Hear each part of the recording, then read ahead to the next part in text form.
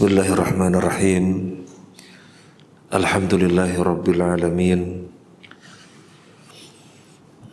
Wabihi nasta'inu ala umuri dunia wa din Wassalatu wassalamu ala ashrafil anbiya'i wal mursalin Wa ala alihi wa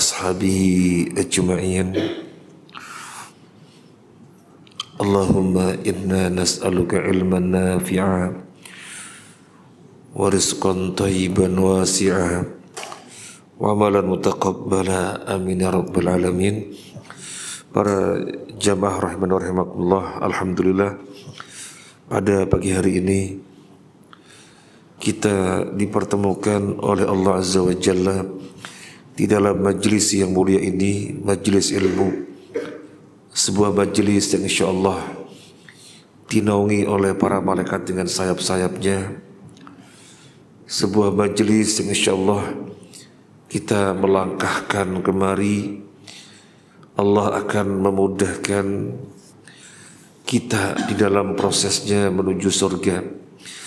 Di mana Nabi sallallahu alaihi wasallam bersabda man salaka tariqan yaltamisu fihi ilman sahalallahu lahu bihi tariqan ilal jannah Barang siapa yang menempuh jalan di situ dia menuntut ilmu maka Allah akan mudahkan baginya jalan menuju surga. Para jamaah rahimakumullah, kajian kita Bulughul Maram yang ditulis oleh Al-Hafidh Ibnu Hajar Al-Asqalani rahimahullah wa ghafara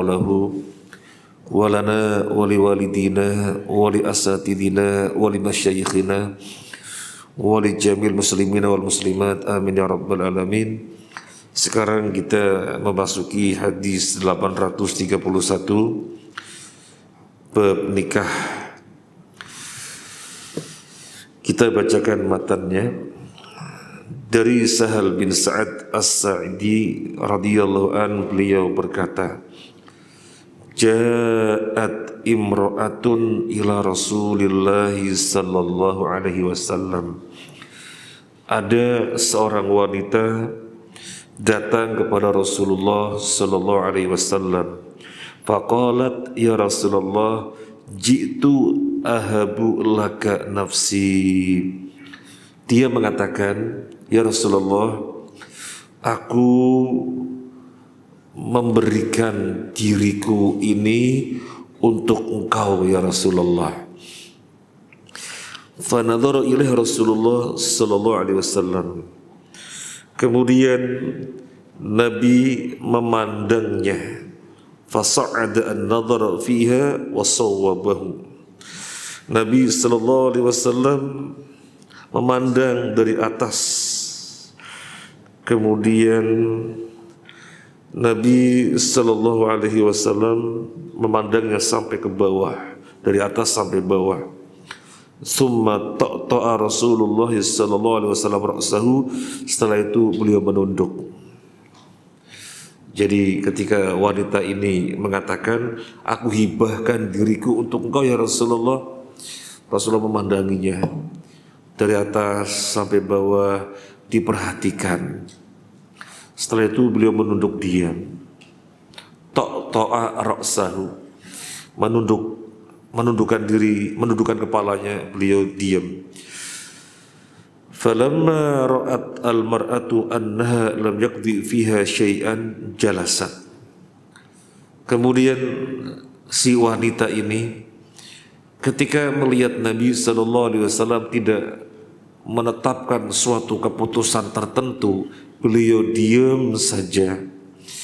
Akhirnya wanita ini duduk. Faqama rajulun min ashabihi.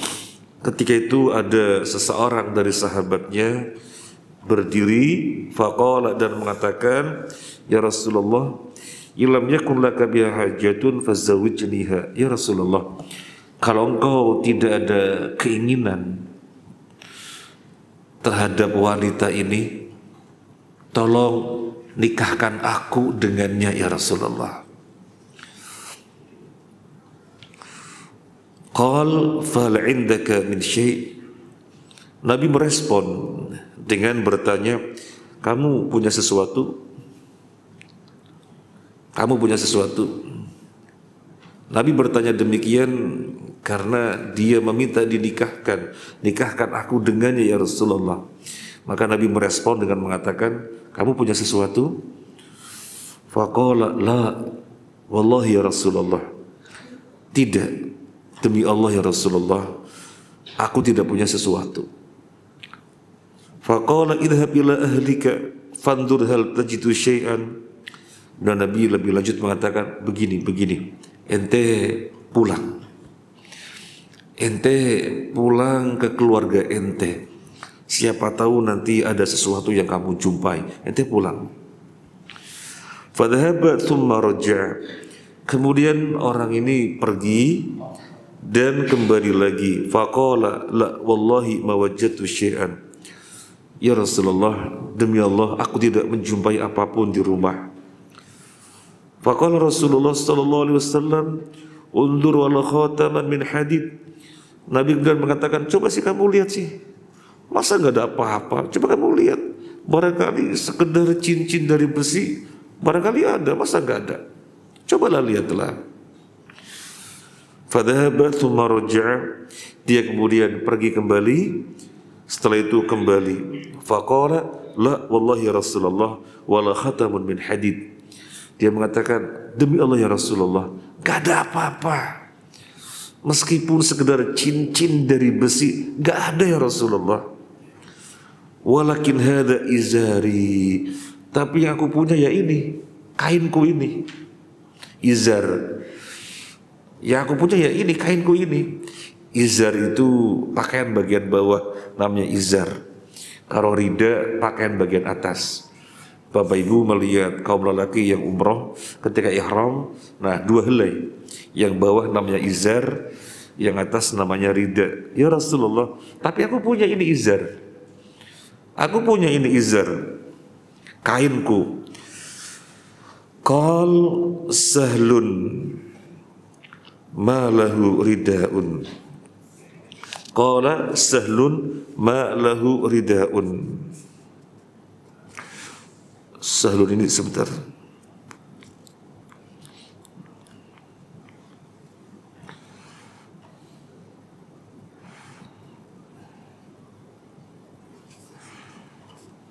Oh, Sahlin nama orang. Qala Sahlun karena yang meriwayatkan hadis ini adalah Sahal. Sahal bin Sa'ad As-Sa'idi. Faqa uh, mana tadi? Qal Sahlun ma lahu ridaun falaha nisfuhu ini orang punyanya hanya izar saja kain bagian bawah saja bagian atasnya ridanya nggak ada jadi cuma separuh ibaratnya pakaian cuma separuh bagian bawahnya saja dia punya kata periwayat hadis ini yaitu Sahal bin Sa'ad As-Sa'idi falaha nisfuhu jadi baginya separohnya. Baginya separohnya. Dia tidak memiliki baju, maka wanita itu berhak memiliki setengahnya. Faqala Rasulullah sallallahu alaihi wasallam, "Matasna abi zarika in labistahu lam yakun 'alaiha minhu syai'un wa in labis wa in labisatu lam yakun 'alaika minhu syai'un." Lo gimana? Kamu ini cuma punya satu izar dijadikan mahar Nah, kalau kamu berikan, kamu pakai apa? Terus kalau pakai, kamu pakai, dia dapat apa? Karena mahar itu harus dikasihkan. Lah, ini kamu punya cuma satu lah. Kalau kamu pakai, dia dapat apa? Terus kalau dia pakai, kamu pakai apa? Nah, Nabi menjelaskan demikian karena dia merasa tidak punya apa-apa kecuali hanya izar, sarung. Bahasa kita sarung ya, sarung kain bagian bawah. Fajalas ar-rajulu hatta tola majlisuhu qama. Akhirnya lelaki ini duduk. Dia duduknya sampai lama. Kemudian dia berdiri karena merasa kok kayak gak ada solusi. Ia duduk lama, kemudian berdiri, berdiri bangkit. Fara'ahu Rasulullah SAW muwalliyan. Rasulullah SAW melihatnya dia pergi. Mungkin bingung gitu ya. Pengen menikah, gak punya apa-apa, punyanya cuma satu kain Loh ini kan yang belum menikah di sini bukan sekedar punya kain, punya motor. Nah, ayo nikah. Ini cuma punya kain mau nikah. Nah, kemudian fa'amara bihi fadu'iya lahu. Nabi memerintahkan agar dia dipanggil, panggil dia. Falamma ja'a qala madza ma'aka minal Qur'an. Ketika dia datang Nabi bertanya, "Ente punya Quran?" Hafalan Quran itu punya enggak? Qala ma'i suratu kada wa suratu kada addadaha. Dia mengatakan, "Iya Rasulullah, aku menghafal surat ini dan surat ini." Dia menyebutkan beberapa surat. Faqala taqra'uhunna an dhahri qalbika. Nah, kalau begitu ente bisa bacakan untuk wanita ini dengan hafalanmu itu. Ente bisa bacakan. Qala na'am. Iya. Lagi itu menjawab iya. Qal idhab faqad mallaktukaha bima ma'aka minal Qur'an. Sekarang pergi. Aku telah menjadikan wanita ini milikmu. Sekarang pergi, aku telah menjadikan wanita ini milikmu. Artinya telah sah menjadi istrimu dengan mahar Al-Quran tadi. Baik, hadis ini mutafak alaih Bukhari Muslim. Jadi tidak dibahas derajatnya karena pasti sahih. Apa yang bisa kita ambil dari hadis ini? Ma yukhadhu minal hadis. Apa yang bisa diambil dari hadis ini? Faedah-faedah apa saja? Yang pertama, jawazu irdil mar'ati nafsaha ala rajulin min ahli salah wal khair li zawajihi biha. Boleh wanita menawarkan dirinya kepada seorang laki-laki yang saleh agar dinikahinya. Jadi misalnya di bawah ada akhwat misalnya. Kemudian di sini ada ikhwan. Tahu ada ikhwan belum menikah dan akhwat ini belum menikah keluar masjid akhi Assalamualaikum Waalaikumsalam Berkenan menikahi saya? Boleh? Boleh Boleh? Boleh ya. Saya mau lakukan Ayo uji nyali ya. Boleh Athani yang kedua Jawazu nadir rajul ilal mar'ah li iradatil hidbah wa illam yakhtub bal qad istahabbahu ba'duhum huna qabla an yuqaddima 'ala al-khidbah hatta la yakhtub illa ba'da wujubir raghbah. Boleh seorang lelaki melihat wanita yang hendak dilamarnya meskipun akhirnya tidak jadi melamar. Meskipun akhirnya tidak jadi melamar dan para ulama mengatakan semacam ini disunnahkan. Sehingga jangan sampai seseorang melamar kecuali dia benar-benar menyukainya. Jadi tidak mengapa. Tidak mengapa. Kan yang lalu sudah kita bahas. Ketika ada seseorang ditanya oleh Nabi, dan dia mengatakan hendak menikah, apa pertanyaan Nabi? Ketika seseorang mengatakan kepada Nabi bahwasanya dirinya hendak menikah, apa pertanyaan Nabi? Kamu sudah melihat dia? Lihat. Jangan sampai tidak lihat, lihat. Jadi atau gak jadi itu urusannya nomor dua. Atau yang berikutnya, yang penting lihat dulu. Ini menunjukkan apa? Sebagaimana dinyatakan di poin yang kedua ini, ulama mengatakannya, ulama mengatakan semacam ini sunnah. Sehingga jangan sampai seorang lelaki melamar wanita kecuali dipastikan dia menyukainya. Dia menyukainya. Sampai seorang sahabat ketika menghendaki seorang wanita, dia harus sembunyi di pohon korma, melihat-lihat karena biar memastikan, oh ini wanita yang hendak saya lamar, yang kemudian akan dinikah. Oh ini cocok sudah, maju. Kalau gak cocok ya sudah. Ini sesuatu yang biasa. Ini sesuatu yang biasa. Jadi jangan sampai ada wanita mengatakan, loh sudah datang rumah, sudah lihat pula, gak jadi. Jangan, ini sesuatu yang biasa. Sesuatu yang biasa. Bukan saja dari pihak lakinya. Dari pihak wanita juga begitu. Menentukan asal nggak mau. Sama aja.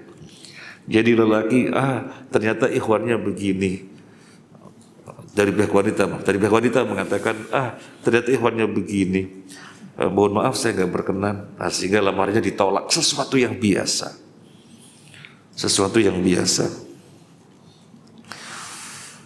Uh,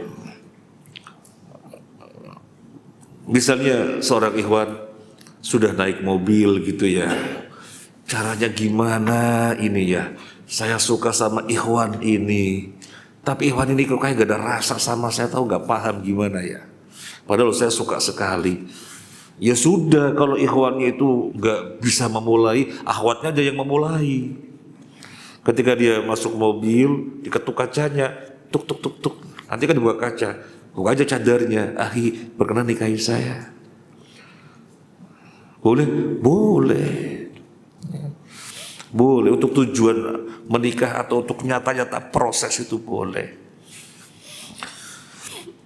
Loh gimana dengan ayat yang berbunyi wa kullil mu'minati yaghuddna min absarihinna wa kullil mu'minin yaghuddu min absarihim kemudian wa kullil mu'minati yaghuddna min absarihinna Katakan kepada lelaki beriman agar menjaga pandangannya. Katakan kepada wanita-wanita beriman agar menjaga pandangannya. Iya, ini konteksnya umum. Adapun yang sedang kita bahas adalah suatu proses untuk menikah. Jadi tidak bertentangan. Boleh. Lah ini mungkin ada yang bertanya, kok di sini sudah bapak-bapak dibahas masalah ini? Jawabannya bagaimana? Loh, siapa tahu kedua ketiga. Nah kan begitu. Ya gak ada masalah. Seandainya tidak menghendaki ini ilmu, ajaran buat anak cucunya kan begitu. Yang berikutnya, wilayatul imam alal mar'ah allati la waliya laha idza adinat waraghibat atau waraghabat fi Wilayatul imam alal mar'ah allati la waliya laha wanita yang tidak punya wali maka perwaliannya ada pada imam. Yang kita kenal dengan wali hakim. Ini ada wanita mau menikah. Walinya siapa? Bapaknya sudah meninggal dunia. Oh bapaknya sudah meninggal dunia. Kemudian kakeknya orang tuanya ayah sudah nggak ada juga oh sudah nggak ada Saudaranya laki-laki gak ada. Ada kakek, tetapi ayahnya ibu boleh jadi wali. Dia punya kakek, tapi ayahnya ibu boleh jadi wali? Ya tidak, karena perwalian dari jalur bapak. Berarti gak ada walinya, gak ada walinya. Maka walinya adalah imam. Di dalam hadis ini seorang wanita datang kepada Nabi dan Nabi menikahkan eh pemuda malak tukah sana pergi aku sudah jadikan ente memilikinya. Kenapa Nabi demikian? Nabi hakim. Nabi imam. Nah. Jadi perlu diketahui wali itu dari jalur ayahnya wanita bukan dari jalur ibu, bukan, tapi dari jalur ayah. Kalau misalnya ayah nggak ada, ya kakeknya. Nggak ada, ya kakak adiknya yang laki-laki atau perempuan. Kalau nggak ada, kalau nggak ada siapa? Kalau nggak ada, ya anaknya kakak adik. Anak kakak adik itu apa bahasa kita? Anaknya kakak adik bahasa kita apa? Anaknya kakak anak adik keponaan. Kalau nggak ada, ya paman kandung.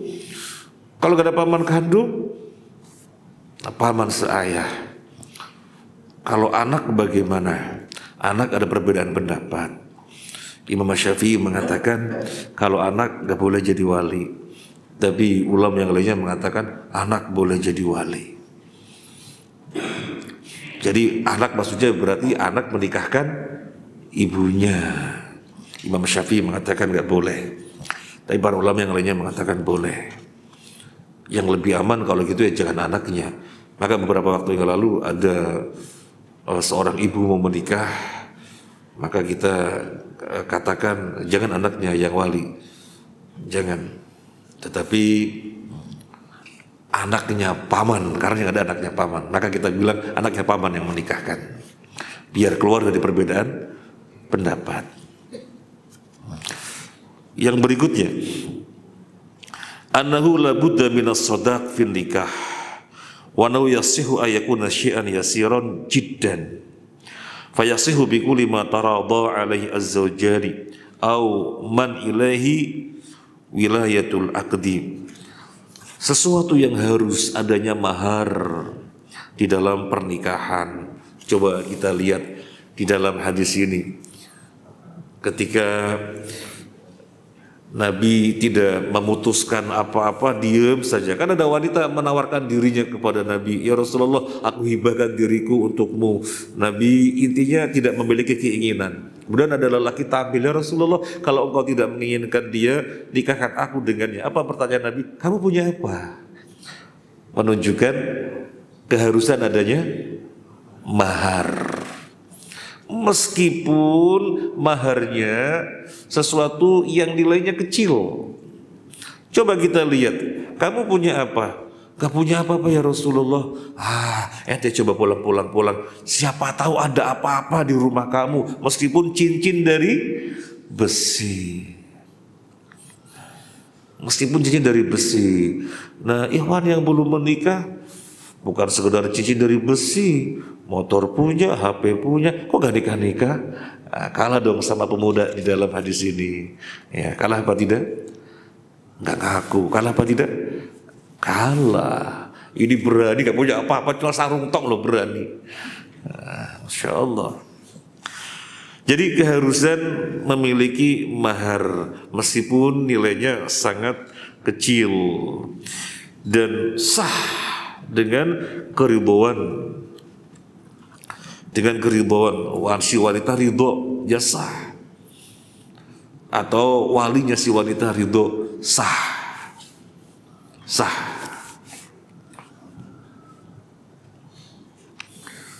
paling enak itu orang Indonesia paling enak bersyukur jadi orang Indonesia ketika nanya kepada ahwatnya Uti maharnya apa terserah ya Allah terserah baik sekali itu orang Indonesia Uti maharnya apa? Terserah. Kemudian dibelikan perangkat sholat sudah senang sekali Allah Akbar. Mestinya istrinya jangan sekedar satu, gampang kok di sini. Terserah. Coba kalau di Saudi, biasanya apa? Rumah. Rumah. Maharnya apa? Rumah. Wah kalau di sini marinya apa rumah belum pada nikah mungkin ya. Iya. Karena banyak yang belum punya rumah. Tapi bersyukur wanita Indonesia itu sangat memudahkan sekali. Maharnya apa Uti? Terserah. Sama seperti saya judul ketika menikah. Uti maharnya apa? Udah terserah. Ya sudah terserah gitu ya. Eh, dimudahkan. Tapi jangan kemudian terserah kemudian kita mengabaikan wis beliin aja permen coklat satu biji ya jangan gitu ya jangan Malah kita berpesan sebagaimana Ustadz Erwandi Hafidhullah Ta'ala menjelaskan agar para wanita di dalam menetapkan mahar jangan terlalu menggampangkan. Memang haknya dia menentukan apa, tapi jangan terlalu menggampangkan. Jadi menyulitkan jangan, terlalu menggampangkan gampang jangan. Wis terserah wis. Akhirnya si lelaki kemudian merasa ada kebebasan terserah kemudian maharnya sangat apa adanya. Setelah di memberi memberi arahan jangan begitu. Menyulitkan jangan tetapi jangan juga yang akhirnya disepelekan oleh lelaki. Nah kita lanjut.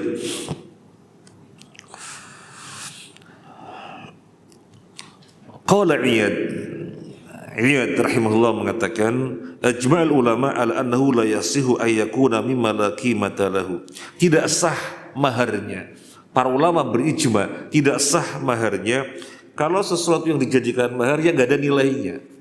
Jadi gak ada nilainya itu gak sah. Apa maharnya?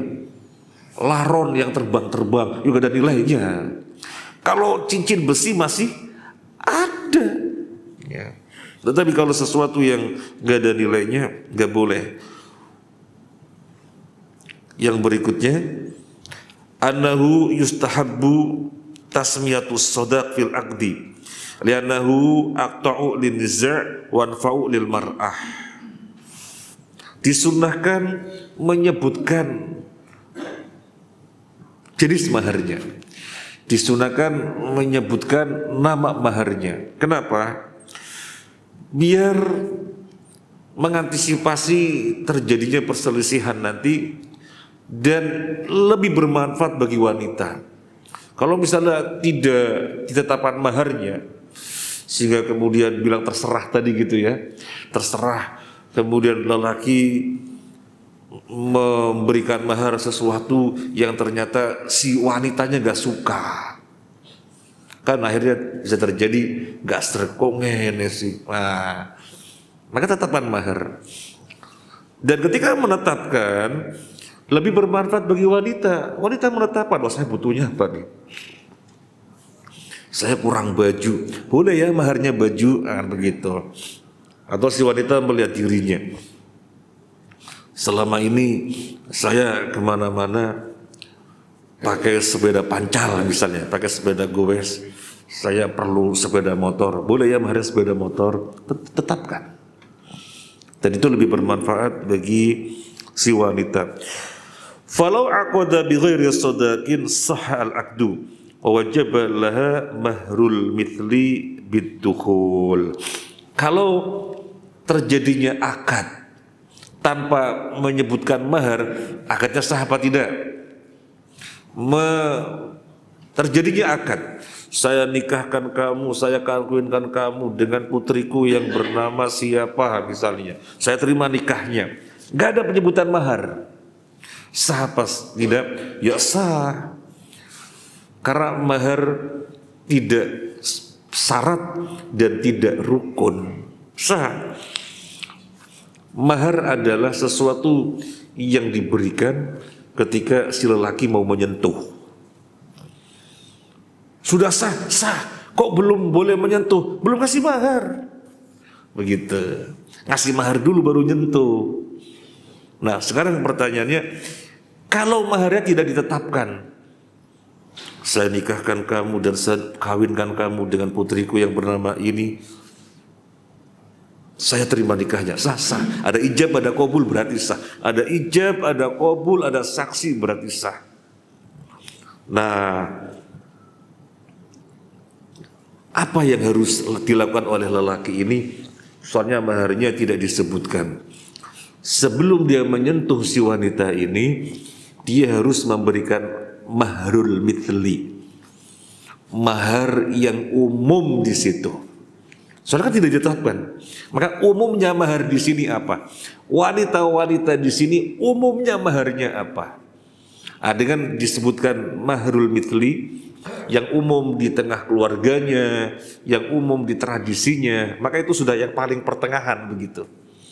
Sudah yang pertengahan, soalnya tidak ditetapkan. Makanya enaknya ditetapkan. Dan selama ini yang kita jumpai orang menikah itu langsung menetapkan maharnya itu sunnah. Langsung menetapkan maharnya. Kemudian yang berikutnya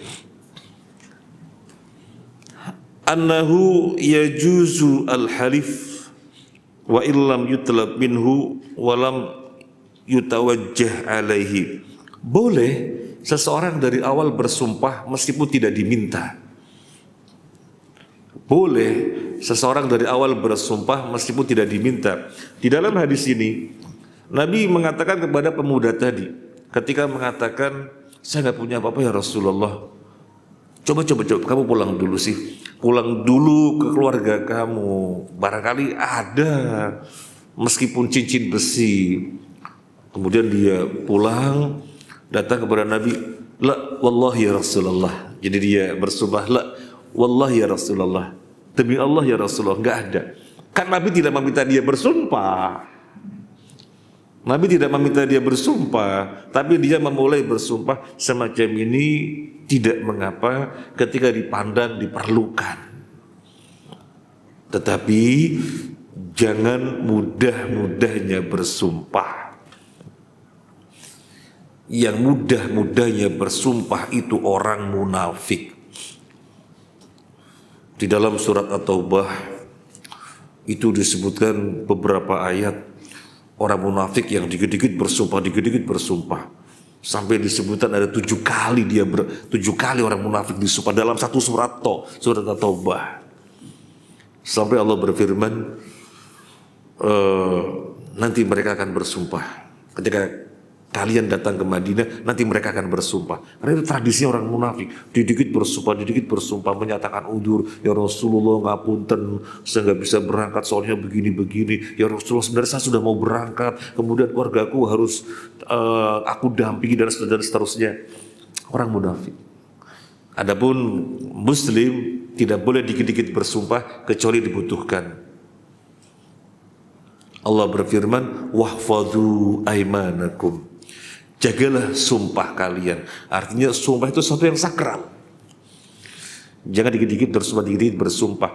Dan yang terjadi kita bisa rasakan. Ada orang kalau berbicara apa adanya, kalau berbuat apa adanya. Maka ketika dia berbicara kita langsung percaya.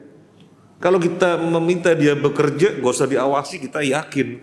Meskipun dia tidak sumpah-sumpah, kenapa? Justru dia tidak pakai sumpah-sumpah, tapi kalau berbicara apa adanya, kalau berbuat apa adanya, kita merasa tenang. Ini orang jujur.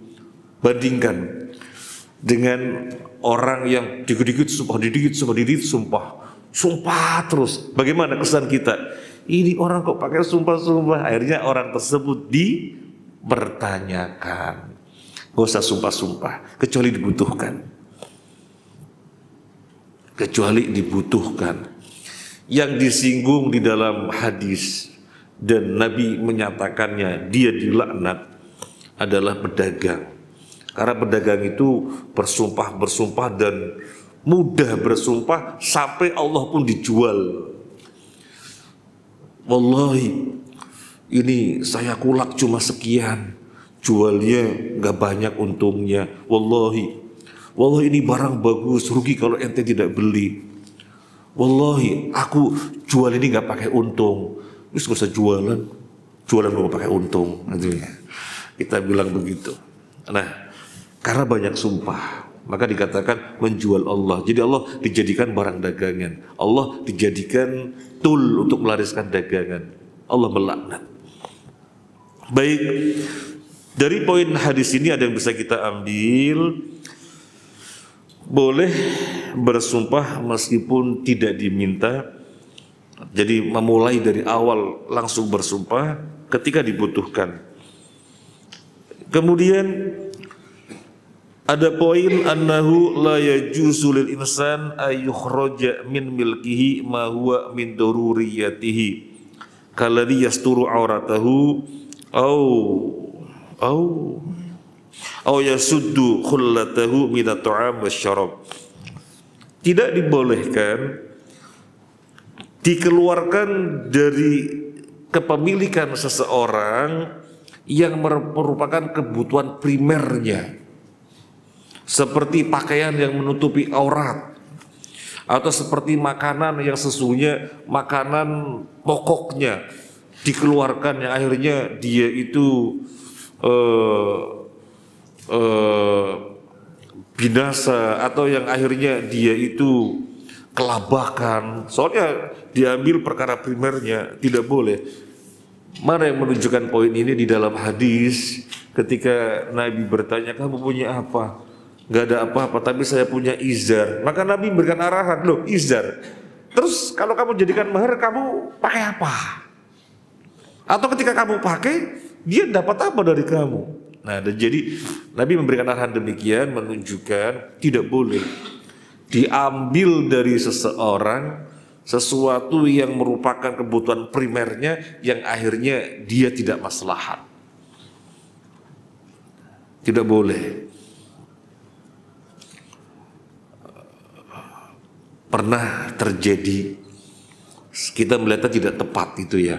Jadi ada seorang pemuda melanggar melanggar rambu-rambu lalu, lintas dan ternyata karena dia tidak tahu terasing di daerah situ ternyata dia melanggar ditangkap sama polisi. Yang terbaik disita apanya? Yang terbaik disita apanya? Ya STNK-nya atau apanya kan begitu. Sehingga dia bisa beraktivitas dengan sepeda motornya. Tetapi polisi melakukan tindakan disita motornya. Berhari-hari dia tidak aktivitas untuk menebus motor ini harus ada administrasinya. Berhari-hari tidak aktivitas. Dolim itu. Dolim itu. Makanya di sini ada poin ini. Di sini ada poin ini. Ketika dia mengatakan, saya punya izar ya Rasulullah. Nabi kasih arahan, lo kalau kamu kasihkan kamu pakai apa? Dan menutup aurat hukumnya darurat. Akhirnya diambil poin tidak boleh diambil dari kepemilikan seseorang yang akhirnya dia binasa. Yang akhirnya dia tidak maslahat karena itu kebutuhan primernya. Yang berikutnya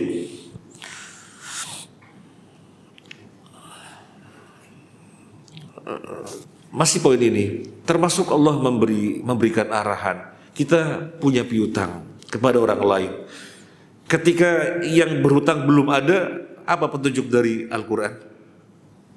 Belum ada, belum ada. Belum ada, belum ada untuk dibayarkan. Kita piutang, dia berhutang. Kita lagi belum ada. Nyata-nyata belum ada. Bukan orang yang bohong, yang nakal, yang zalim. Nyata-nyata belum ada. Apa sikap kita? Memberi penundaan. Memberi tenggat waktu. Jangan kemudian mengambil sesuatu yang akhirnya dia tidak maslahat. Yang berikutnya at-tahqiqu ma'a mudda'il i'sar. Fa innahu sallallahu alaihi wasallam lam yusaddiqhu fi awali da'wahu al-i'sar hatta dhaharat lahu qara'inu sidqihi. Harus menegaskan harus ada penegasan terhadap orang yang mengaku kesulitan. Jadi jangan langsung percaya. Saya sulit. Oh, langsung percaya. Oh, kamu kesulitan ya? Langsung percaya. Jangan. Di sini dicontohkan oleh Nabi. Ketika Nabi bertanya, kamu punya apa? Gak punya apa-apa ya Rasulullah. Oh, kamu gak punya apa-apa. Nabi tidak begitu. Oh, jangan gitu, kata Nabi. Coba kamu pulang ke rumah. Barangkali ada di rumah. Dia datang lagi. Gak ada ya Rasulullah. Wallahi ya Rasulullah gak ada. Lah pulang lagi, pulang lagi. Siapa tahu ada gitu loh, meskipun cincin besi. Ah, di sini ada poin ditulis oleh muallif Abdullah Al-Bassam Habibullah taala harus ditegaskan terhadap orang yang mengaku dirinya kesulitan. Sehingga ada suatu indikasi yang kita ketahui bahwasanya benar dia dalam kesulitan yang akhirnya kita bantu misalnya Jangan bermudah-mudahan. Apalagi zaman sekarang adanya pengemis-pengemis palsu. Sekarang kan zaman zaman senangnya ada palsu-palsu gitu ya, sertifikat palsu, pengemis palsu gitu ya. Jadi pengemis palsu padahal dia tidak diperbolehkan untuk meminta. Orang meminta itu boleh dengan tiga syarat. Yang pertama ada tiga orang yang tahu persis bahwasanya dia itu tidak punya apa-apa, benar-benar fakir, benar-benar miskin. Artinya ada tiga orang soleh yang merekomendasikan bahwasanya dia benar adanya orang miskin. Yang kedua kata Nabi SAW, orang yang terkena beban, orang yang terkena beban, orang yang terkena beban itu gimana? Banyak contohnya. Syekh memberikan contoh ada pertikaian suatu kaum kemudian dia pengen membantu menyelesaikan dia datang ke sana ternyata kok berkepanjangan berhari-hari nggak bisa cari nafkah dia boleh meminta untuk bertahan hidup. Nah namanya orang kena beban. Yang ketiga orang yang uh, orang yang hutangnya numpuk dia tidak bisa bangkit kecuali minta. Sampai pada kondisi bisa bangkit kembali kerja normal ya sudah nggak boleh. Jadi ini orang boleh utang. Nah terjadi orang ngemis nggak ada alasan apa-apa. Nyata-nyata males. Karena dia kuat gak ada udur. Bisa bekerja cuma males minta-minta. Kita langsung ngasih. Oh ini orang susah kita ngasih nggak boleh. Ada karin indikasi yang yang yang yang yang menjadikan kita tahu oh dia benar-benar butuh kita kasih. Kalau enggak ya jangan. Kalau enggak ya jangan. Kalau kita tidak yakin jangan. Tapi kalau ada indikasi yang meyakinkan kita kasih. Apalagi disingkap pengemis-pengemis itu ternyata dijadikannya sebagai profesi bukan asli bukan asli dia itu eh, nggak e, bisa ngapa-ngapain kecuali harus minta. Tapi dia males akhirnya menjadikan ngemis sebagai profesi. Waliyadzubillah orang semacam ini dibangkitan pada hari kiamat wajahnya tidak berdaging alias tengkorak tulang saja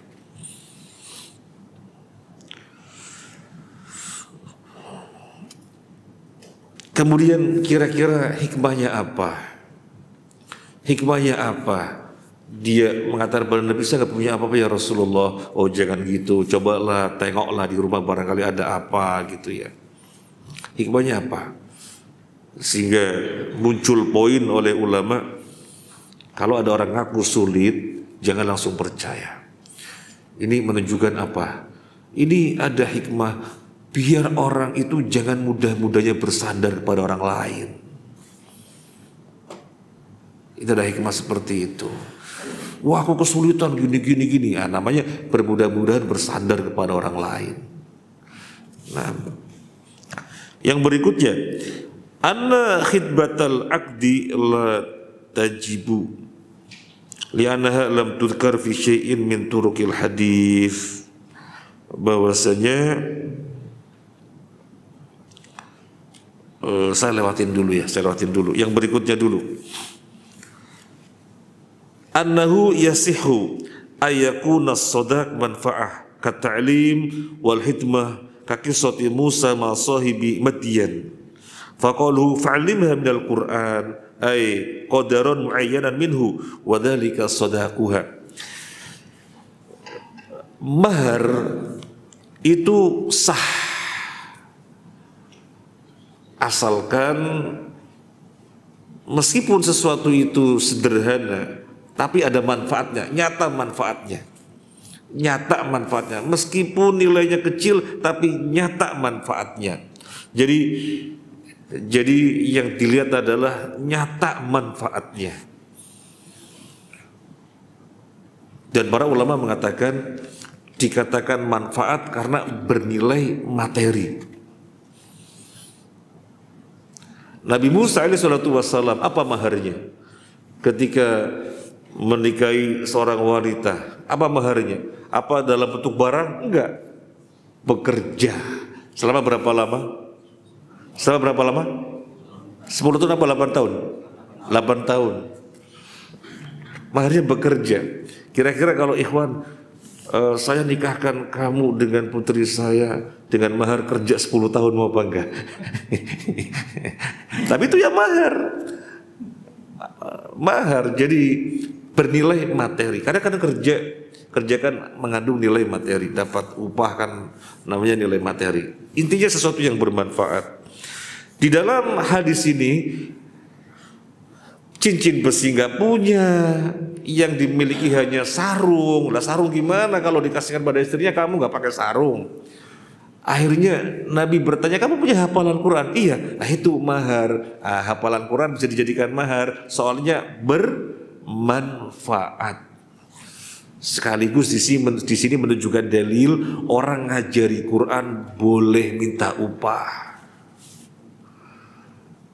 Sekaligus di sini merupakan dalil orang ngajari Quran boleh minta upah karena dijadikan sebagai mahar. Dan mahar adalah sesuatu yang bernilai materi. Yang berikutnya, anan nikah iyan akidu bila tamlik liqaulihi fi ba'di riwayat mallaktukaha nikah dikatakan sah ketika lafaz yang diucapkan oleh wali adalah lafaz kepemilikan. Di dalam hadis ini Nabi mengatakan bagaimana? Malaktukaha. Di dalam hadis ini Nabi mengatakan kepada pemuda tadi, "Idhab faqad malaktukaha bima ma'aka minal Qur'an." uh, sekarang ente pergi, aku telah menjadikan wanita ini milikmu, malaktukaha.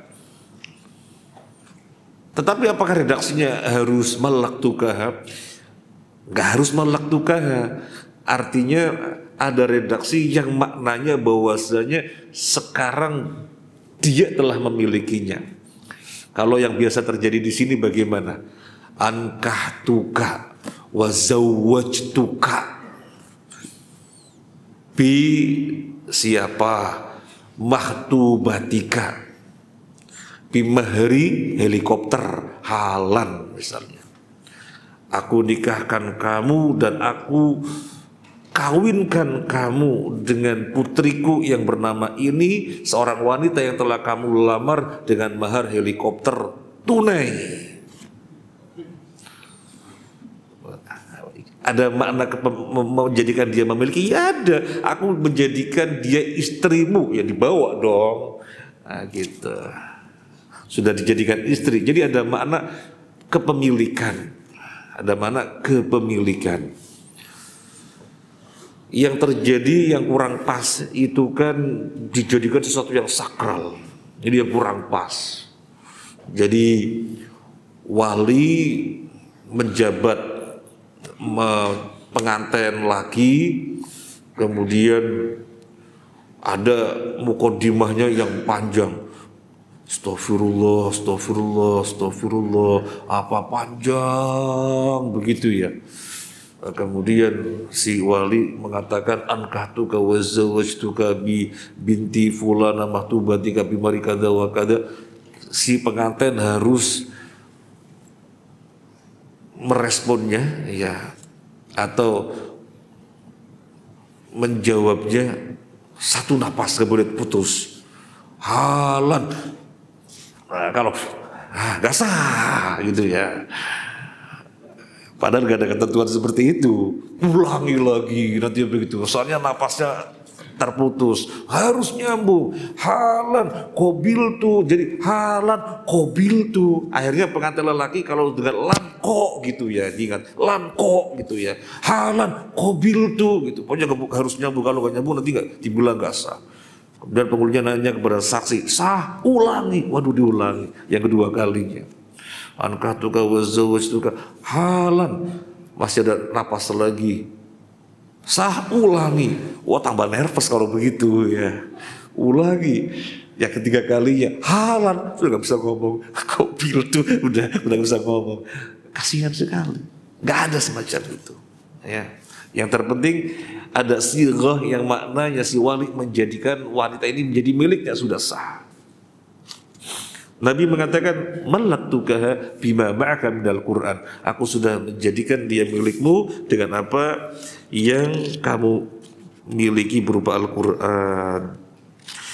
Qala Syekhul Islam Alladhi alaihi akthar ahli ilmi anna nikah yan'aqidu bi ghairi lafzil inkah bi ghairi lafzil inkah wa tazwij. Syekhul Islam mengatakan kebanyakan para ahli ilmu mengatakan nikah itu sudah sah meskipun tidak ada lafaz menikahkan mengkawinkan. Meskipun tidak ada lafaz itu menikahkan mengawinkan. Wah di dalam hadis ini Nabi mengatakan apa? Melaktukah aku telah menjadikan kamu memilikinya. Maka itu sudah sah.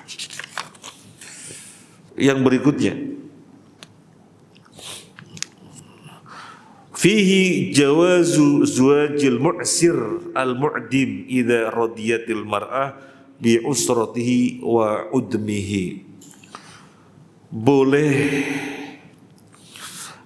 menikahkan pemuda yang kesulitan yang miskin.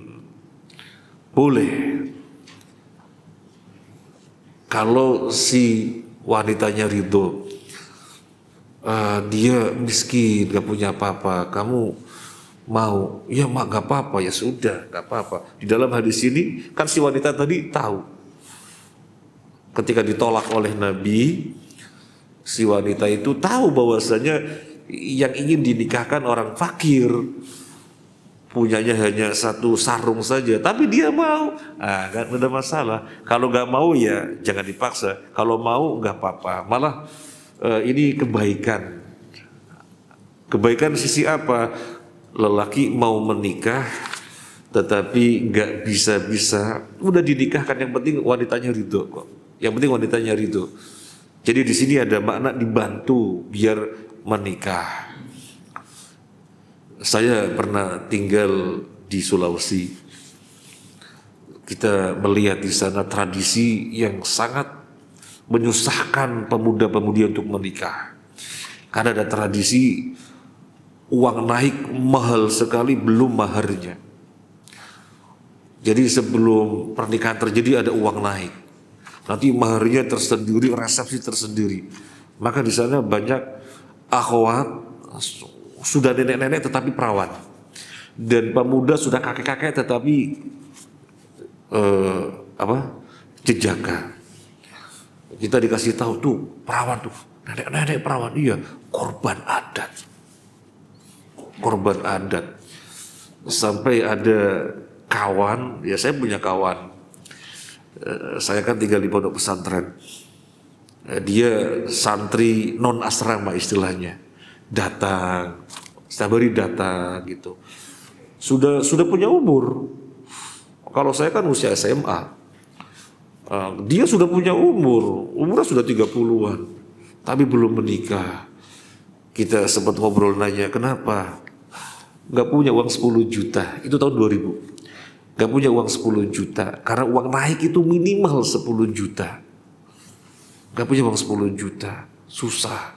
Belum nanti mahar dan yang lainnya. Makanya nggak nikah-nikah.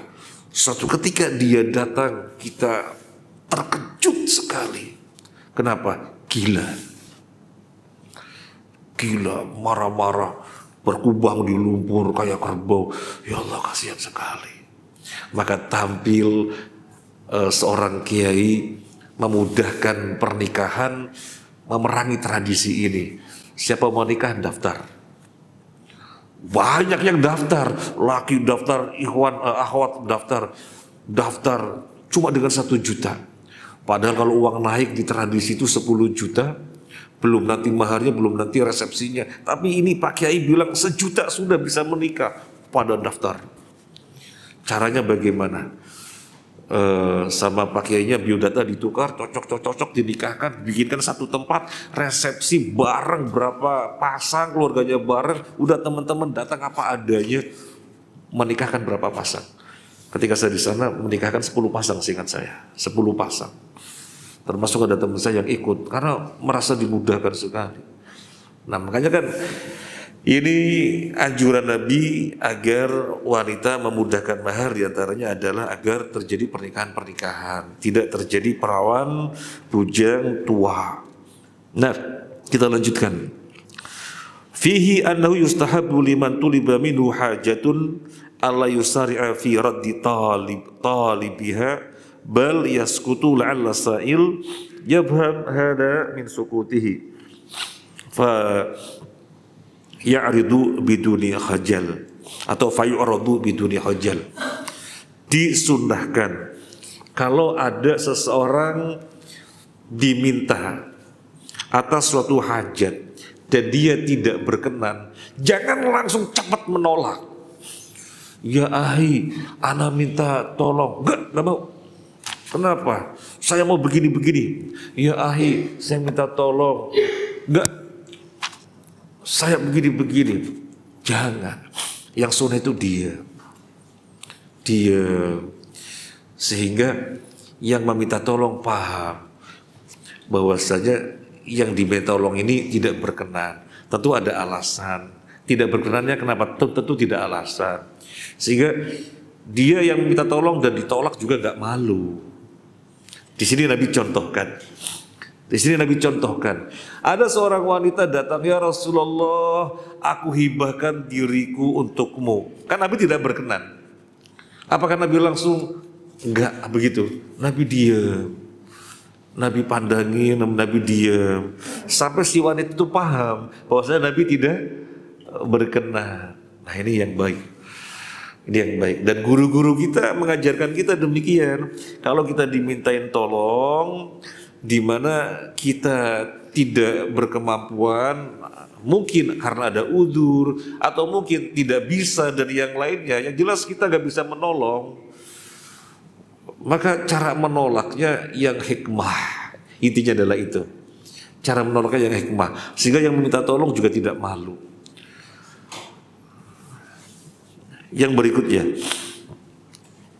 Fihi annahu tajusul hidbah idza dhanna al-khatib al-thani bil qarinah annahu lam yahsul ittifaq ma'al khatib al-awwal. Boleh seseorang tampil melamar ketika diketahui dengan indikasi si pelamar yang pertama sudah selesai. Maka dia boleh langsung langsung tampil. Kan di sini si pemuda mengetahui bahwasanya Nabi tidak berkenan, Nabi tidak mau maju. Dari indikasi yang dia baca, oh Nabi gak berkenan. Maka dia langsung tampil, ya Rasulullah, kalau engkau tidak berkenan, nikahkan aku dengan dia. Nah, kemudian di sini berarti ada faedah, boleh orang kedua tampil melamar ketika diketahui dari indikasi, dari keadaan, dipahami bahwasanya orang pertama sudah selesai. Sudah selesai prosesnya, sudah. Maka boleh tampil. Jangan sampai Orang yang pertama masih proses melamar dan belum final maju enggak, eh, maksudnya ada keputusan maju belum, ada keputusan mundur juga belum, lagi proses. Kok ada lelaki tampil, aku mau sama kamu, nggak boleh. Ini namanya melamar di atas lamaran orang lain. Semacam ini dolim. Sebagaimana membeli di atas pembeliannya orang lain sebagaimana menjual di atas penjualannya orang lain. Dolim. Gak boleh. Tetapi sampai diketahui sudah putus, sudah final, boleh maju, boleh tampil. Yang berikutnya, Jawazu hibatil mar'ah nafsa di Nabi sallallahu alaihi wasallam wa yakhasalahu sallallahu alaihi wasallam. Boleh seorang wanita menghibahkan dirinya untuk Nabi. Boleh, tapi ini khususnya bagi Nabi saja.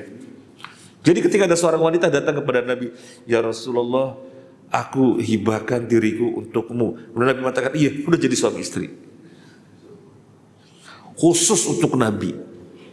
Khusus untuk Nabi. Ini jangan dipahami di dalam ayat ini ada wanita datang kemudian kalau dia bilang iya berarti jadi suaminya. Oh kalau begitu nanti para wanita datang kepada antum. Aku hibahkan diriku untuk oh ya, oh jadi suami istri. Oh enggak, ini khusus untuk Nabi. Dalilnya surat Al-Ahzab ayat 50. Dalilnya surat Al-Ahzab ayat 50. A'udzu billahi minasyaitonir rajim. Wa imra'atun mu'minatun iwahabat nafsaha lin nabiyyi in arada nabi in arada nabiyyu ay yastankihaha khalisatan laka min dunil mu'minin. Wanita mukminah yang menghibahkan dirinya untuk Nabi jika Nabi menginginkan untuk menikahinya maka sudah jadi suami istri khalisotan laka kata Allah. Semacam ini khusus untukmu. Berarti ini khususiyah buat Nabi. Semacam ini khusus untukmu min dunil mukminin bukan orang-orang mukmin yang lainnya. Sama seperti Nabi menikahi sampai sembilan. Untuk mukmin yang lainnya hanya empat. Ini semacam ini sama babnya. Khususiyah. Khususiyah. Nah Kemudian yang berikutnya annahu la yatimul aqdu ba'da al-ijab illa bil qabul. Dzalika anna al-mar'ah wahabat walakin Nabi sallallahu sakata wa lam yaqbal. Thumma zawwajaha min ar-rajul al-akhar mimma yadullu ala anna sukutahu khuluqun karimun minhu wa laysa qabulan. وقد فهم الحاضرون ذلك ولذا قال الخاتب إن لم تكن لها بها حاجة فزوجنيها akad tidak dikatakan sempurna kecuali setelah ada ijab ada kobul sekedar ijab saja nggak ada kobul belum dikatakan akad atau belum dikatakan akad yang sahih Misalnya si wali mengatakan ankah tuka wa zawwajtuka bibinti misalnya siapa namanya? Mahtubatika bimahri kada wa kada. Tapi si lelaki diam saja. Ah, berarti hanya ada apa? Ijab belum ada kabul semacam ini belum sah. Semacam ini belum sah Dalilnya Nabi di sini ketika wanita mengatakan ya Rasulullah aku hibahkan diriku untukmu dan Nabi diam. Nabi diam. Kemudian setelah Nabi diam ada lelaki yang paham bahwasanya Nabi tidak mau. Akhirnya Nabi mengatakan, ya sudah aku nikahkan kamu. Oh berarti di sini kesimpulannya tadi belum terjadi akad. Jadi diamnya Nabi menunjukkan tadi belum terjadi akad. Makanya Nabi mengalihkan untuk orang lain. Maka dikatakan akad ketika ijab ada kobul. Ijab dari pihak wali, kobul dari pihak uh, pengantin laki-laki. Kemudian kita lebarkan pembahasan. Uh, yang ijab siapa yang kobul siapa? Wali dan pengantin? Laki. Apakah ada persyaratan pengantin wanita hadir di situ? Nggak ada. Nggak ada persyaratan. Karena ijab kobul itu antara wali dengan pengantin laki-laki. Tetapi suka-suka yang terjadi ketika ijab kobul wanitanya dihadirkan dan tidak mau dilangsungkan pernikahan kecuali di situ ada pengantin laki-laki ada pengantin perempuan. Loh yang ijab kabul loh wali sama pengantin lelaki. Yang ijab kabul itu lelaki sama pengantin lelaki. Pengantin perempuannya tahunya beres. Gitu tahunya sudah beres berarti jadi suami istri. Nah maka tidak tepat termasuk kadang-kadang ada yang kaku Wah ini pengantin wanitanya dikeluarkan. Tanda tangannya di sini. Padahal panitianya sudah men-setting agar si lelakinya nanti yang masuk meminta tanda tangan. Gitu. Ya ini bagus di setting agar pengantin laki-laki yang masuk minta tanda tangan. Tapi pihak panitia atau apa begitu tidak mau harus keluar. Harus keluar. Ya nggak begitulah.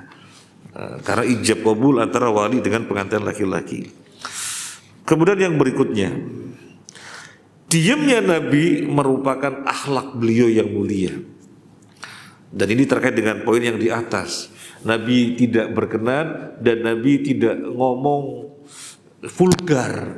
Cukup diam sehingga dipahami Nabi tidak berkenan sehingga yang ditolak juga tidak malu. Ini akhlak Nabi Sallallahu Alaihi Wasallam. Yang berikutnya,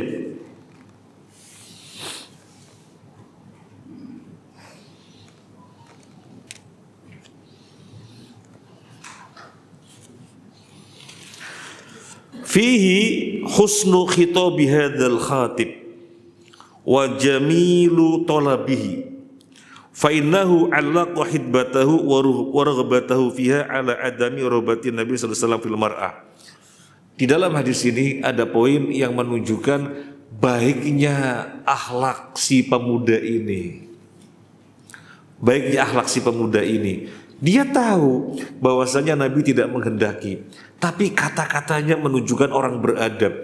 Jadi dia tidak mengatakan, ya Rasulullah, nikahkan aku dengan dia. Kata-katanya bukan begitu.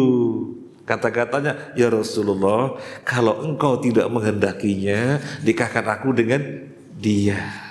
Ini menunjukkan orang beradab. Ya, uh, saya mau sampaikan kepada semuanya, khususnya yang pemuda-pemuda Eh, suka-suka dirasakan yang muda-muda ini kurang bisa bertata krama kepada yang lebih sepuh. Suka-suka dirasakan begitu. Baik di dalam pengaturan kata-kata maupun di dalam tindak tanduk. Suka-suka kurang menunjukkan adab yang bagus. Ini perlu berlatih ini perlu berlatih. Saya pernah dikritik oleh bapak-bapak.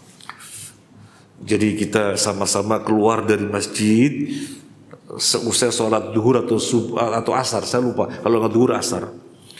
Kemudian eh, bapak-bapak ini duduk di teras dan pemuda-pemuda keluar melewati beliau-beliau untuk ngambil sandal pergi kan begitu. Tetapi dengan uh, sikap yang menunjukkan kurang unggah-ungguh bagi mereka mungkin ya saya yang diprotes dikiranya santri-santri saya gitu kan ini gimana pemuda-pemuda kayak gitu? Gak ada adabnya gak sopan. Waduh yang kena saya kan.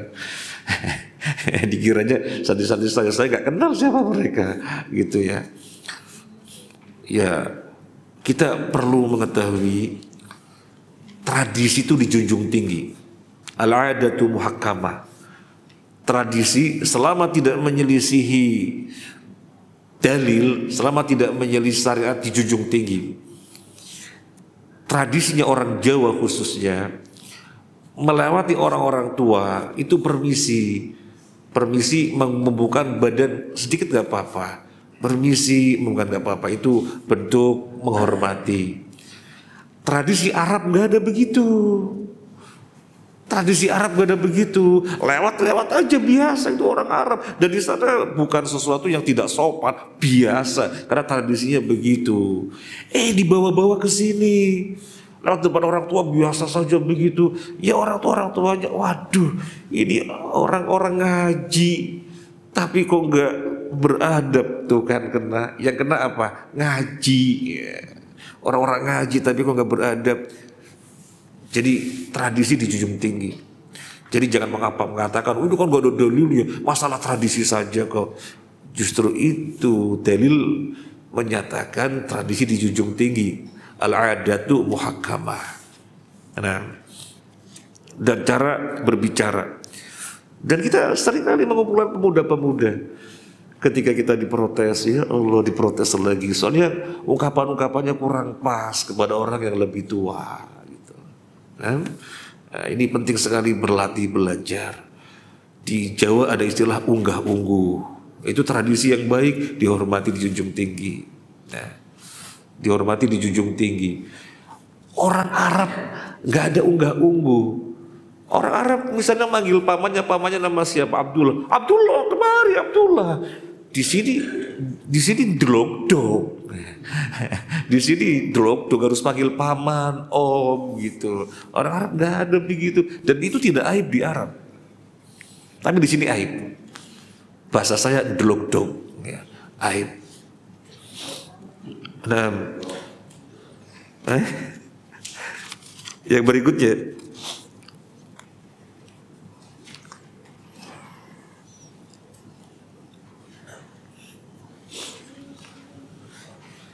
fihi syafaqatun nabi sallallahu alaihi wasallam bi ummatihi fa innahu lamma ra'a udma hadzal rajul wa faqruhu wa hajatahu ila zawaj zawajahu bima lam tajur al adatu ittikhadahu iwadan wa ujratan. Intinya poin yang terakhir dari pembahasan kita dari hadis ini adalah sayangnya Nabi kepada umatnya kasih sayangnya Nabi kepada umatnya Ketika diketahui ada seseorang tidak bisa menikah, Nabi tidak cuek. Nabi membantu sehingga kemudian terjadi pernikahan. Nabi membantu sehingga terjadi pernikahan. Tetapi tidak sampai menyelisih syariat. Kamu punya apa? Kan ditanya yang terkait dengan syariatnya. Karena harus ada mahar. Kamu punya apa? Enggak ada ya Rasulullah. Jangan begitu. Coba pulang ke rumah lihat. Datang gak ada ya Rasul oh jangan begitu. Barangkali masih ada. Coba dilihat. Jadi tetap di dalam batasan sesuai dengan syariat. Kemudian terjadilah pernikahan. Nah banyak saudara saudara-saudara kita yang belum menikah dan mereka perlu dibantu. Perlu dibantu. Banyak sekali banyak sekali saya menyampaikan seperti ini soalnya Ya termasuk banyak orang sharing tentang masalah pernikahan. Sampai ada orang yang bilang kepada saya, Ustadz apakah saya ditakdirkan gak menikah ya? Allahu Akbar. Gimana kalau Bapak ada orang curhat seperti itu? Gimana? Banyak. Dan numpuk di saya biodata akhwat siapa mau? Ah, ayo siapa mau? Apa kita perlu bikin nikah masal? Al-Burhan kita kan nikah masal. Memudahkan ikhwan dan akhwat yang belum menikah. Kita mudahkan sejuta sudah jadi suami istri gitu. Ini bagus sekali. Al-Burhan mengadakan ya biar segera pada nikah. Ya. terima kasih banyak yang bisa kita sampaikan. Ada yang perlu disaringkan kalau ada lagi Pak. Monggo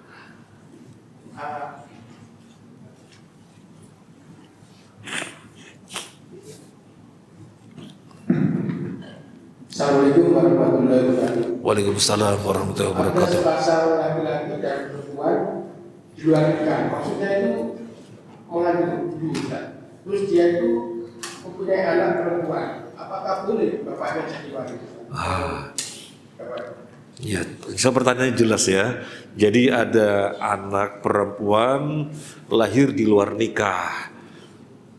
Terus nanti walinya siapa? Apakah ayahnya si ibu boleh jadi wali kan begitu ya? Apakah ayahnya si ibu boleh jadi wali? Karena kan ayahnya dia uh, sekedar ayah biologis saja. Sekedar, sekedar ayah biologis saja kan biasanya setelah bukan biasanya terjadi setelah anak lahir di luar nikah kemudian setelah melahirkan kedua laki perempuan ini dinikahkan sudah jadi suami istri.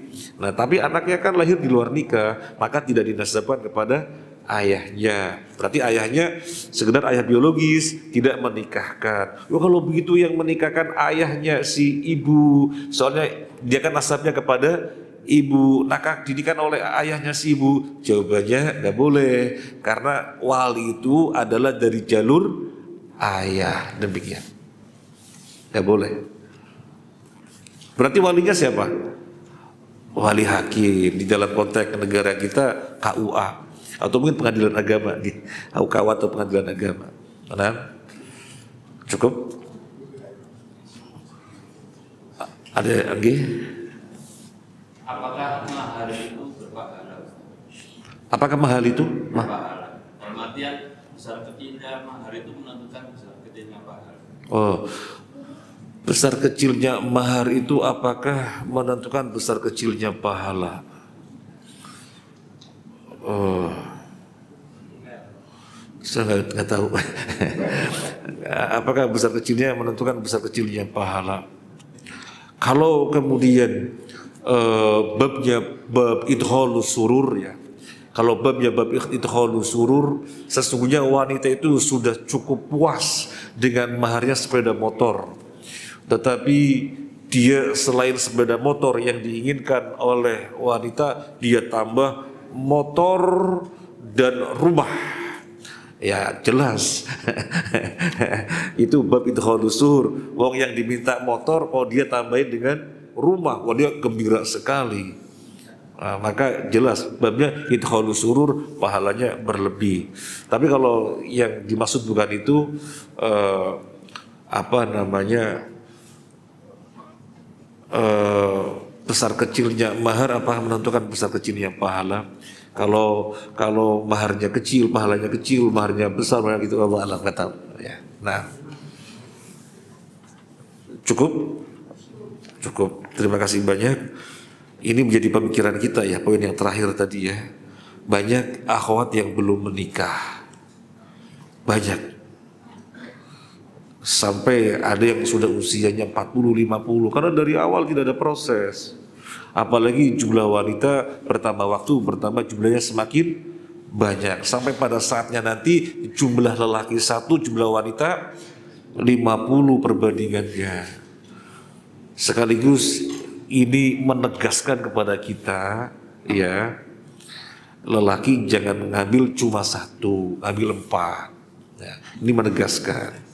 Kemudian sekaligus menegaskan wanita jangan egois ya. Mau menguasai suaminya seorang diri. Padahal ada hak wanita-wanita yang lain untuk memilikinya. Demikian ya. Terima kasih. Ada Pak boleh disampaikan cukup nah, cukup. Terima kasih. Semoga bermanfaat. Mohon maaf atas hal hal kurang berkenan. Subhanakallah wa bihamdika. Asyhadu an la ilaha illa anta astaghfiruka wa atubu ilaik. Assalamualaikum warahmatullahi wabarakatuh.